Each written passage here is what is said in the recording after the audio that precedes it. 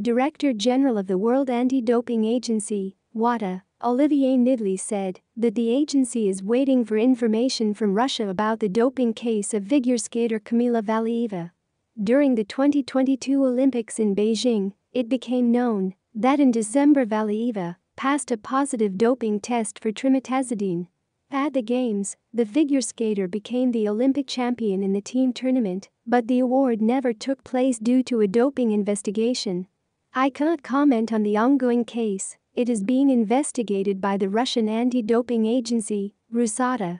We are waiting for the decision to consider whether it complies with the code and whether it is necessary to appeal.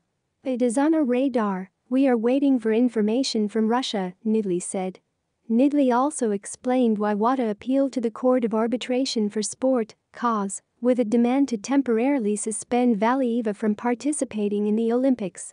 Underage athletes have a special status, but according to the code, this status is not the reason why a temporary suspension is not imposed. That is why we have filed an appeal to the CAS, as we believe that all athletes should be on equal terms, the WADA CEO said.